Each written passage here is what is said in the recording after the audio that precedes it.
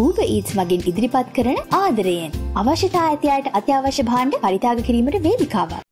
UNICEF ආයතනය ලංකාවේ දරුවන් මන්දපෝෂණයෙන් පෙළෙන බව ප්‍රකාශ කළා. ලෝකෙන්ම හයවන ස්ථානයේත් ආසියාවේ දෙවන ස්ථානයේත් ශ්‍රී ලංකාව පසුවන බවයි යුනිසෙෆ් ආයතනය ප්‍රකාශ කළේ. මේ අතරවාරයේ රටේ විවිධ ප්‍රදේශවලින් ආහාර නැති දරුවන් පිළිබඳවත් තොරතුරු වාර්තාාවන්නට පටන් ගත්තා. ඒ අතර සූරයවැව දරුවන් පිළිබඳවත් පොල්මදකෑ දරුවන් පිළිබඳවත් ගම්පහ සහ පොළොන්නරුව යන ප්‍රදේශවලින් වාර්තාාවනා. රජය පාර්ශවයෙන් විශෂෙන් සෞඛ්‍ය අමාත්‍යංශ නිරධහරින් ගණන් හිලව් බොරු බව පවස පවසමින් රටේ මන්ද පෝෂණය නැති බවට පෙන්නන්නට උත්සාහ කරනවා. රජය වෛත්‍ය නිලධහරින්ගේ සංසදය සභහපති වෛත්‍ය රුක්ෂන් බෙල්ලනත් එවැනි ප්‍රකාශයක් සිදු කර තිබුණා. ඔහු ප්‍රකාශ කර තිබුණේ මන්ද පෝෂණ විකෘති කතාව හැදූ යුනිසෙෆ් නියෝචිතයා වහා පිටුවහල් කළ යුතු බවයි. මේ ලංකාවේ තියෙන ලෝකෙ තියෙන ප්‍රශ්නයක්ම තමයි. අපේ ළමයි කොහොමත් කුඩයි. අපේ ළමයින්ගේ බර අඩුයි. ඒක සාමාන්‍යද අසාමාන්‍යද? අර අන්තර්ජාතික සංගම් මේ සංවිධාන පවා ඉන්නවා.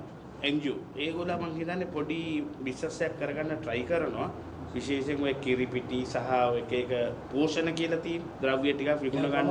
ආ? ප්‍රොමෝෂන් එක කියන්නේ ඒකට මන්ද පෝෂණය තමයි ඉස්සරහට දාගන්නේ. මේ රටේ මන්ද පෝෂණය තිබ්බා සහ අදත් තියෙනවා හෙටත් තියෙයි. මන්ද පෝෂණය නිසා අර අප්‍රිකාව වගේ මැරී වැටෙන ළමයි ඉන්න මම ජීවිතේට දැකලා නැහැ ඇතරම මන්ද පෝෂණ තත්වය විකෘති කතාවක්ද? මේ සෞඛ්‍ය වෘතිය බේදීන්ගේ විද්වත් සංගමය සභහපති රවි කුමුදේශ් දැක් වූ අදහස්. පෝෂණය සම්බන්ධයෙන් අවසාන වශයෙන් සංගණනයක් කළ තියෙන දෙදස් දාසයේදී තකොට දෙදස් දාසේ පරණ වාර්තාවට වඩා මන්ද පෝෂණ තත්වයක් මේ රටේ ඇතිවීමට හේතු සාධක දෙකක් ඉතා පැහැදිලිව තියෙනවා. එකක් කොවිඩ් වසංගතය දෙක ආර්ථික අර්බුදය.